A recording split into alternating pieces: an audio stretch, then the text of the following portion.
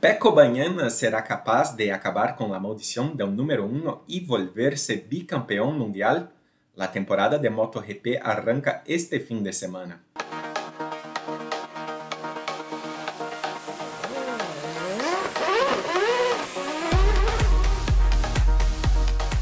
Amigas y amigos de Grande Premio, hoy llegamos con un video sobre la lucha por el título de MotoGP en 2023. Pero antes les pido que dejen su like a este video, suscríbanse a nuestro canal y hagan prognósticos. ¿Quién va a ser el campeón mundial este año?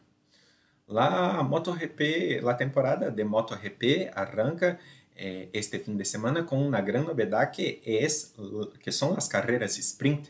Va a haber sprint en todas las 21 etapas del mundial este año. Así que van a ser 42 carreras 21 sprint y 21 de las principales, lo que va a cambiar todo, toda la dinámica del fin de semana, pero este es un tema para otro video. Hoy hablaremos de la lucha por el título. Y el gran favorito es Francesco Baiana. El italiano protagonizó una linda remontada el año pasado, estuvo 91 puntos por detrás de Fabio Quartararo, el campeón de 2021, pero protagonizó linda arrancada y terminó por delante del francés para eh, lograr el primer título de Ducati en la, la categoría reina desde 2007, desde el logro de Case Stoner. Pero hay que decir que pese a esta mala racha, Ducati ya tiene la mejor moto eh, en MotoGP hace algunos años, pero necesitaba este empujón de un buen piloto como es Pecco. Pero también hay que decir que Pecco no va a ser el único piloto a pilotar eh, mejor moto de la grilla. Eh, su compañero ahora en Ducati, en, la, en equipo principal, es Enya Bastianini. Enya Bastianini quien protagonizó un buen campeonato el año pasado por Pramac, logró el tercer puesto, eh, ganó cuatro veces y ahora llega para luchar, quién sabe, de igual con eh, el vigente campeón.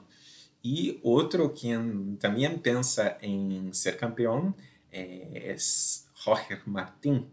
Eh, tiene una rivalidad con Bastianini porque los dos estaban en Pramac el año pasado con el sueño de llegar a Ducati, al equipo principal. Enya Bastianini logró y, y, y, Martín se quedó en Pramac, pero él dijo que se siente cómodo eh, en el equipo. Hay que decir que el equipo tiene, eh, los dos equipos, Ducati y Pramac, tienen la moto Ducati de 2023. Es distinto de otros clientes de, de Ducati que van a usar la moto del año pasado. La segunda mejor moto de la categoría hoy por hoy es, de, uh, es la de Aprilia y el, el, capitán del equipo es Alexi Spargaró. Spargaró eh, el año pasado eh, barajó con un retiro de la categoría, pero todo cambió cuando logró su primera victoria en MotoGP y también la primera victoria de Aprilia en la categoría en Termas de Río Hondo, el GP de Argentina, y desde entonces eh, su mente cambió y ahora sueña eh, con, con, el título, sueña con más victorias y quizás por luchar por el campeonato. Y eh, hay la desventaja de Aprilia en estos momentos es que ya no tiene concesiones del reglamento del año pasado eh, que otros equipos no tenían porque era un equipo en desarrollo. Ahora Aprilia ya no es un equipo en desarrollo, pero por otra parte tiene ahora un equipo cliente que es RNF.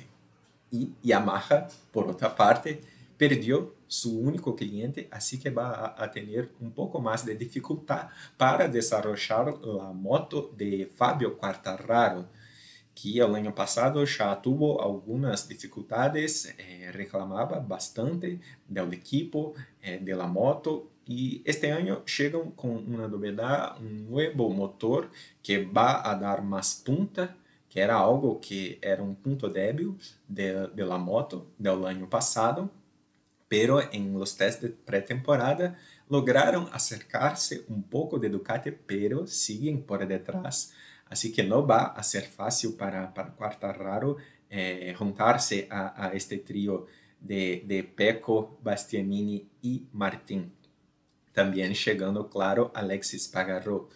Eh, y eh, en Yamaha, Franco Morbidelli sigue bajo presión porque ya no tiene contrato para el año que viene y el año pasado hizo un muy mal trabajo.